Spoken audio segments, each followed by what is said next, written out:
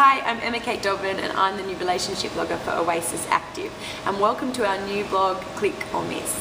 So a little bit about me. I started my career as a journalist and I've pretty much focused on relationships and travel. Is there anything else worth talking about? Ever since. And I've also been blogging for like the last five years uh, with a blog that focuses on dating.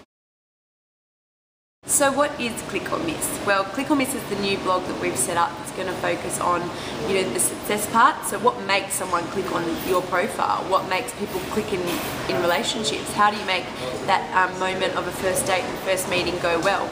But we're also going to focus on the other part, the miss. Why do you keep missing someone that's right for you? Why do people just clash when they meet each other? Why sometimes can we seem to miss the people that are right in front of our eyes, literally, um, and keep clicking on a douche bag. We're going to cover all of that, but also something that's quite exciting is we're going to take it one step further and you're going to have a chance to write in and go head to head with me with picking someone that you either click or miss with. So stay tuned because you could be clicking and missing out on someone right in front of your eyes.